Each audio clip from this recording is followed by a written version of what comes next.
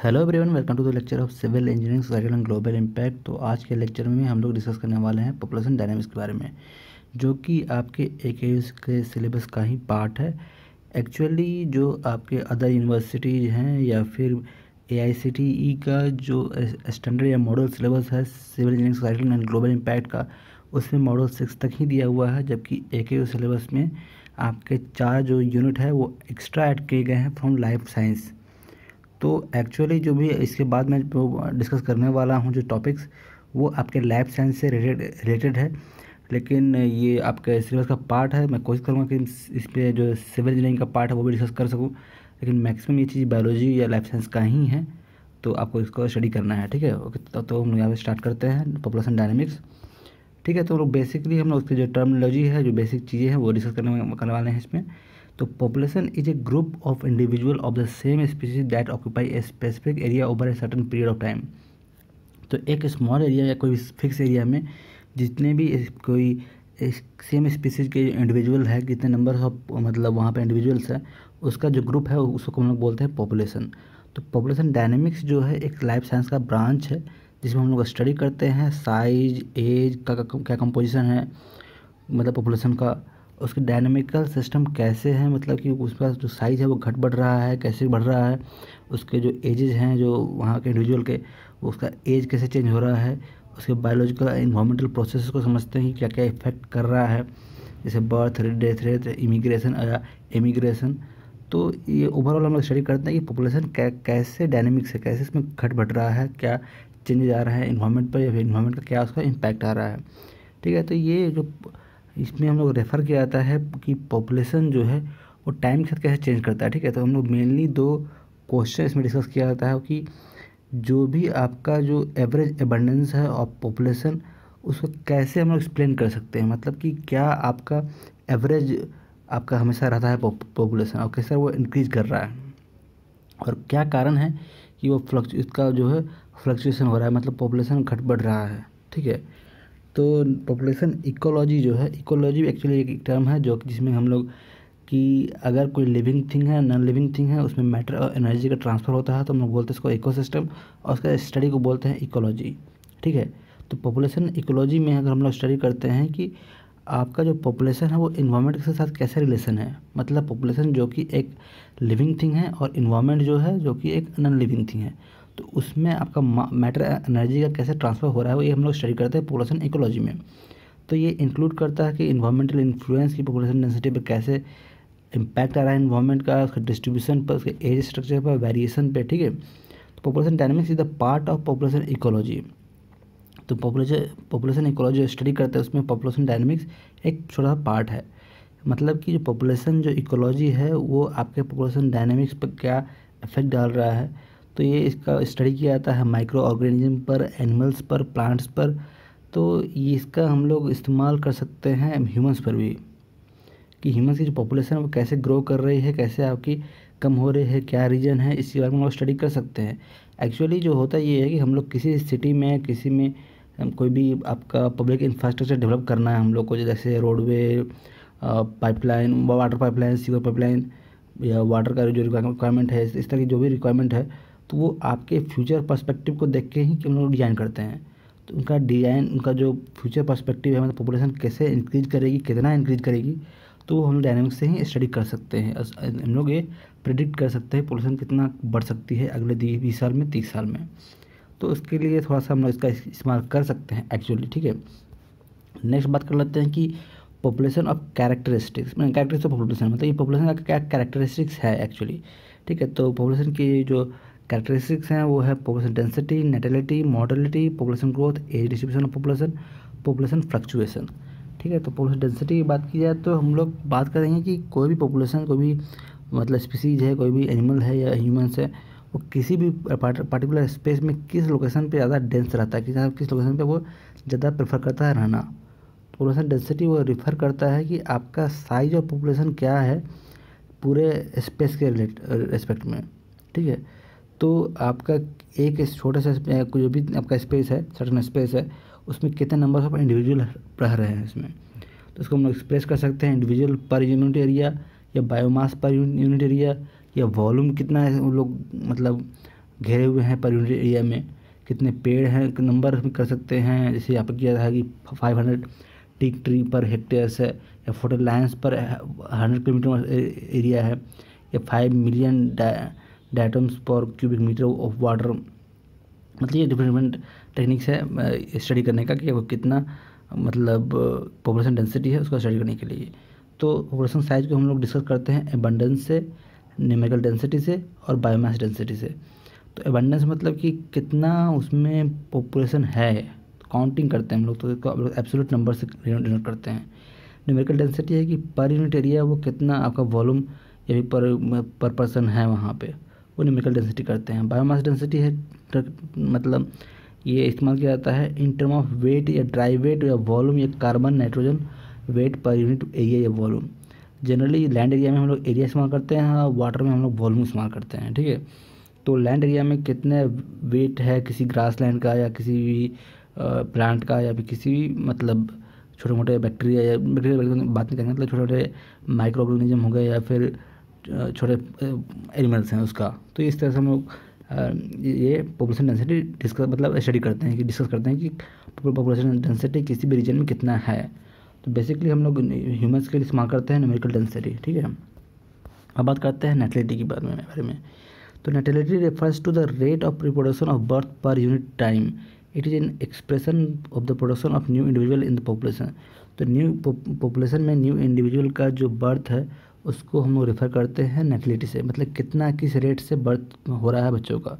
ठीक है तो बर्थ रेट जो है number of birth per unit time per average population देखा जाता है कि एक दिन में या एक साल में कितने लाख पॉपुलेशन पर इंडिविजुअल पर कितने नंबर ऑफ़ बच्चों का बर्थ हो रहा है। ठीक है तो maximum number of birth produce from per individual in under ideal condition is called potential natality मतलब आइडियल कंडीशन है तो उस समय जो मैक्सिमम बर्थ हो सकता है, उसको हम लोग बोलते हैं पोटेंशियल नेटेलिटी और जो कि डिपेंड करता है वैसे कि आपका वहाँ का बायोटिक पोटेंशियल क्या है नेटेलिटी क्या है, इसको हम इससे भी डिनोट करते हैं, ठीक है? तो नेटेलिटी वेरी करता है ऑर्गेनिक टू ऑर्गेनिज्म कौन से जानवर है उस पर डिपेंड करता है और उसके इन्वामेंटल पर भी बहुत इन्वामेंट पर भी बहुत सारा इम्पेक्ट पड़ता है तो ये डिपेंड करता है। तो मैक्सिमम जो है नेटलिटी जो ऑब्ज़र्व किया गया है, ये तभी एग्जिस्ट करता है जब आइडियल इकोलॉजिकल या जेनेटिक कंडीशन हो और एक्चुअल नंबर ऑफ़ बर्थ जो होता है, वो इससे हमेशा कम ही होता है। ठीक है? क्योंकि हम लोग आइडियल सिचुएशन हम लोग कभी भी मतलब एज्यूम कर ही नहीं सकते ऐसे एग्जिस्ट कर नहीं सकता इसलिए।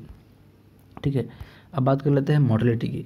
तो मोर्टलिटी है कि कितने परसेंट जो कितने number of individual per unit time में डेथ कर रहे हैं, उसको हम लोग बोलते हैं मोर्टलिटी तो इसको हम लोग मिनिमम या स्पेसिफिक या पोटेंशियल पर मोर्टेबिलिटी से टर्म से हम लोग स्टडी करते हैं। मतलब कि ये रिप्रेजेंट करता है कि minimum theoretical loss of individuals under ideal और नन लिमिटिंग कंडीशन मतलब सब कुछ सही रहेगा, जब बीमारियाँ नहीं होगी, लोग नेचुरल डेथ से मरेंगे। तो इस केसेस में तो कितना पोटेंशियल मोर्टेलिटी हो सकती है मिनिमम उसको हम बोलते हैं मिनिमम मोर्टेलिटी या स्पेसिफिक या पोटेंशियल मोर्टेलिटी ठीक है? तो इस, इससे भी हम लोग समझ पाते हैं कि आपका जो, अभी का जो पॉपुलेशन कंडीशन है वो क्या क्या है। ठीक है? तो डिपेंड करता है कि आपका कैसा सिचुएशन है। नेक्स्ट है इकोलॉजिकल और realised mortality it refers to the death of individual of a population under existing environmental condition तो ये हम लोग बोल रहे थे डिस्कस कर रहे थे कि ये सिचुएशन कब है? जब आइडियल कंडीशन है। जब आइडियल कंडीशन नहीं है मतलब एक्चुअल कंडीशन है, उस केस में क्या इकोलॉजिकल एक्चुअल मोर्टलिटी है, उसको हम लोग स्टडी करते हैं। तो मैक्सिमम मोडलिटी डिपेंड करता है कि मतलब कब डेथ हो रहा है एग के केस में लार्वा सीडिंग या ओल्ड एज में। मतलब अगर मतलब किसी इंसेक्ट की बात की जाए तो ठीक है? तो मोडलिटी जो अफेक्ट करता है बहुत सारी चीज़ों पर कि आपका डेंसिटी कितना ज़्यादा है, आपका कॉम्पिटिशन कितना है डिज़ीज़ किस तरह इंक्रीज कर रहा है इन्वायरमेंट कैसा है, इस सब पर डिपेंड करता है कि इन्वायरमेंट कितना आपका मतलब फेवरेबल है या नहीं है। तो बर्थ या डेथ रेट रेशियो जो है वो मेनली एक वाइटल इंडेक्स के रूप में माना जाता है किसी भी पॉपुलेशन में कि कैसे उनको स्टडी करने के समय कि पॉपुलेशन किस तरह इंक्रीज कर रही है, घट रही है, बढ़ रही है। तो बर्थ से ज़्यादा हो रहा है डेथ से रिस्पेक्ट में, अगर वन से ज़्यादा ज़्यादा है तो आपकी जो पॉपुलेशन की ग्रोथ होगी, अगर वन से कम होगी तो पॉपुलेशन का मतलब डिक्रीमेंट होगा, ठीक है? तो ये डिपेंड करता है कि आपका मतलब इन्वायरमेंट कैसा है, ठीक है? तो ये सारे जो हम लोग इसका इस्तेमाल करते हैं birth rate birth death ratio का। क्योंकि ये बहुत इंपॉर्टेंट है क्योंकि वो बताता है कि आपके कितने बच्चे कितने पर्सन हैं, वो ज़िंदा बच गए और कितने लाइफ एक्सपेक्टेंसी है आपकी कि कितने लोगों की जो average death average life of span है, वो कितनी है, ठीक है? तो मॉडलिटी में ये स्टडी करते हैं। अब बात करते हैं पॉपुलेशन ग्रोथ की। तो ग्रोथ जो है, एक तरह का डायनेमिक फीचर होता है पॉपुलेशन स्पीसीज की पॉपुलेशन का, क्योंकि ये आपका घटता बढ़ता रहता है और उसको बहुत सारे फैक्टर्स डिपेंड करते हैं इसके। तो इसके लिए हम लोग ग्राफ समझने की कोशिश करते हैं। तो ये ग्राफ जो है, उसमें हम लोग एक्स एक्सिस पर रखते हैं टाइम को वाई एक्सिस में रखते हैं पॉपुलेशन को। तो उसे दो तरह, दो तरीके से ग्रोथ देखा जाता है किसी भी रीजन का पॉपुलेशन का मतलब पॉपुलेशन कोई भी रीजन में, कोई भी स्पेस में, कोई भी जो ऑर्गेनिज्म है, वो मतलब पॉपुलेट होते हैं तो। तो शुरू शुरुआत में देखा जाता है, इसमें जो कि है फ़र्स्ट है सिग्मॉइड या एस कर्व या J shaped curve sigmoid curve में होता है कि शुरू शुरू में जो है पॉपुलेशन धीरे धीरे इंक्रीज करता है, लेकिन धीरे धीरे जैसे जो मतलब पॉपुलेशन वहाँ पे हैबिचुअल हो जाती है, वहाँ पे रहने लायक हो जाती है तो रैपिडली ग्रोथ होने लगता है। फिर धीरे धीरे जाकर वहाँ के एरिया इन्वायरमेंट के अकॉर्डिंग वो स्टेबलाइज होने लगते हैं और धीरे धीरे वो सिचुएशन पे आने लगते हैं। तो हम लोग बोलते हैं एस कर्व मतलब कि टाइम के साथ उसका पॉपुलेशन बढ़ता नहीं है, बस उतना फिक्स रहता है। मतलब कि बर्थ और डेथ का जो रेट है वो कॉन्स्टेंट हो जाता है वन हो जाता है।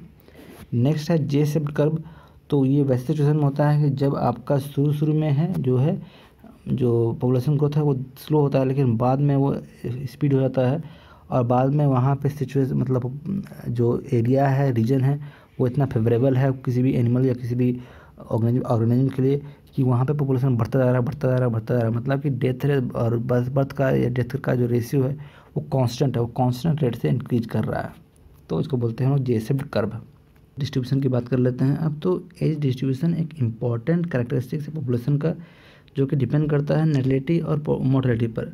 किस तरह से जो है डेथ रेट और बर्थ रेट कैस, कैसा है, उस पर डिपेंड करता है कि आपका जो पॉपुलेशन है, उसमें एज का डिस्ट्रीब्यूशन कैसा होगा। तो अगर जो मोर्टलिटी जो है, सबसे ज़्यादा वेरी करता है कि लोअर एज में या फिर हायर एज में, जी, दिखा जाता है कि हायर होते हैं मोर्टलिटी जबकि नेटलिटी देखा जाता है कि जो मिडिल एज के जो लोग होते हैं इंडिविजुअल होते हैं उनमें उनकी वजह से जो है बर्थ रेट ज़्यादा होता है। तो इस तरह से डिस्ट्रीब्यूशन जो है वो डिपेंड करता है कि वहाँ का सिचुएशन कैसा है, वहाँ का फैक्ट वहाँ का क्लाइमेट कैसा है सिचुएशन कैसा है, ठीक है? तो एक्चुअली जो है अगर पूरे पॉपुलेशन को हम लोग तीन पार्ट में डिवाइड कर सकते हैं मतलब एक हो गया एक ग्रोइंग मैच्योर और स्टेबल ठीक है? और जो बोल सकते हैं एक बार जो ओल्ड हो चुके हैं वो। तो ग्रोइंग जो है अगर ज़्यादा होंगे तो आपके जो है ये इस तरह के आपके एज पिरामिड बनेगी, ठीक है? मतलब नंबर ऑफ़ ग्रोइंग जो है पॉपुलेशन वो ज़्यादा है। और जहाँ जहाँ पे आपका स्टेबल हो चुका है पॉपुलेशन का मतलब कि उसका जो डेथ रेट है वो तो कम है ही उसका जो बर्थ रेट है वो भी कम है। तो इंडिया चाइना में यही थोड़ा डिफरेंस है कि इंडिया में अभी सिक्स फिफ्टी मिलियन पीपल जो है वर्किंग ग्रुप में आते हैं। जो कि चाइना में ज़्यादा है, वैसे अभी भी लेकिन ट्वेंटी फोर्टी तक हम लोग के हमारे देश में जो है, लगभग वन सेवेंटी मिलियन जो वर्किंग एज पीपल है, वो चाइना से रेस्पेक्ट में बढ़ जाएँगे। तो वर्किंग पीपल बढ़ जाएँगे तो ये तो हमारे लिए अच्छी बात है, लेकिन एक तरह से उनके लिए जो है, जो जिनकी ज़रूरत है, ज़रूरतें हैं, उनकी जो नीड्स है, उनको फुलफ़िल करने के लिए हमारे पास जो रिसोर्स है, वो अवेलेबल होने चाहिए।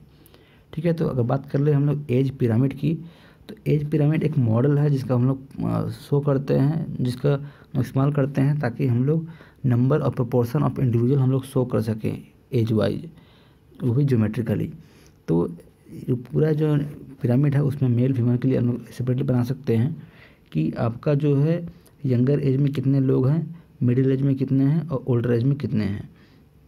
तो जो रैपिडली ग्रो कर रहे हैं जिनका, जिनकी पॉपुलेशन जैसे केनिया नाइजीरिया सऊदी अरबिया वहाँ पे इस तरह की पिरामिड देखने को मिलती है आपको.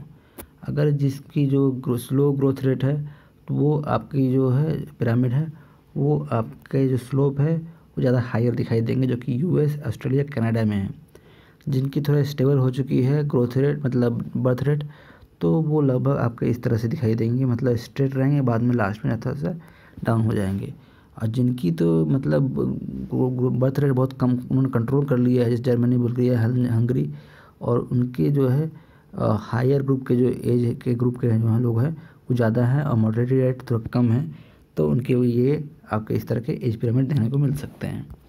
ठीक है तो अब बात कर लेते हैं पॉपुलेशन फ्लक्चुएसन की। तो पॉपुलेशन फ्लक्चुएसन कैसे होता है, वो डिपेंड करता है बहुत सारे फैक्टर्स पर। तो मेनली होता है पॉपुलेशन तीन टाइप के हो सकते हैं। एक होता है नॉन फ्लक्चुएटिंग जो कि फ्लक्चुएट कर ही नहीं रहा है मतलब जितना बर्थ हो रहा है, उतना ही डेथ हो रहा है। जितने लोग आ रहे हैं उस पॉपुलेशन में, उतना ही लोग जा रहे हैं वहाँ से। ठीक है नेक्स्ट है साइक्लिक आपके जो फ्लक्चुएसन है। मतलब कि कोई बहुत सारे आपने इंसेक्ट या एनिमल्स को देखा होगा कि किसी खास सीज़न में, किसी खास मतलब टाइमिंग में वो ग्रो करते हैं। जब उसको पूरी तरह से जो फेवरेबल कंडीशन मिलते हैं क्लाइमेट कंडीशन मिलती है तो उसके सिचुएशन में वो बहुत ज़्यादा ग्रो करते हैं। और बाद में धीरे धीरे धीरे धीरे जब वैसा क्लाइमेट ख़त्म होता है तो उनकी पॉपुलेशन भी कंट्रोल आ जाती है, कम हो जाती है। तो इनको बोलते हैं साइक्लिक क्योंकि वो सीज़न में साई एनुअली किसी भी फिक्स टाइम में वो इंक्रीज करते हैं, फिर रिड्यूस होते हैं। इंक्रीज करते हैं रिड्यूस होते हैं। चलता रहता है साइकिल के रूप में। नेक्स्ट है एरप्टिव मतलब कि कोई भी एनिमल किसी खास इन्वायरमेंट में आता है, कोई भी किसी ऑर्गेनिज्म किसी खास इन्वायरमेंट में आता है जो कि उसके लिए फेवरेबल हो। तो एक तरह से एरप्टिव एरप्टिव फ्लक्चुएशन होता है। मतलब बहुत सडनली उसका एक्सपोनेंशियली उसकी जो पॉपुलेशन ग्रोथ होती है। तो इससे बहुत ज़्यादा बढ़ जाती है पॉपुलेशन ग्रोथ पॉपुलेशन और उसकी ग्रोथ तो हाई रहती ही है। इस तरह के फ्लक्चुएसन पॉपुलेशन देखने को मिलते हैं। तो डिपेंड करते हैं कि आपका क्लाइमेट कैसा है, जिसको क्लाइमेट है, वो फेवरेबल है या नहीं है। ठीक है तो यहाँ पे पॉपुलेशन डायनेमिक्स का हम लोग डिस्कस कर रहे थे। नेक्स्ट लेक्चर में हम लोग पॉपुलेशन डायनेमिक्स के ही अगले पार्ट जो है इकोटाइप या फिर पॉपुलेशन जेनेटिक्स के बारे में डिस्कस करेंगे। ठीक है ओके थैंक यू